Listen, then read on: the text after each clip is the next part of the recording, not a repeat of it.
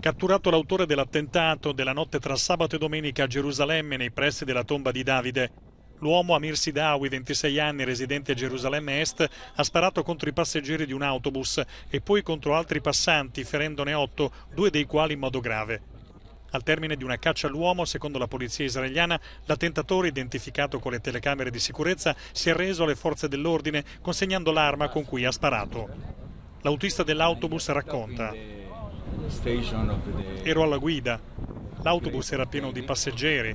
Mi sono fermato alla stazione. In quel momento è iniziata la sparatoria.